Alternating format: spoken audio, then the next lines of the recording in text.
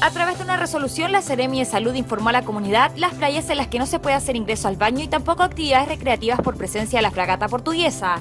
Durante esta jornada también se decretó la prohibición de baño en la playa amarilla tras la picadura de una bañista. Ayer por la tarde, en la misma playa de Concón se detectó a la primera víctima de picadura de la fragata portuguesa.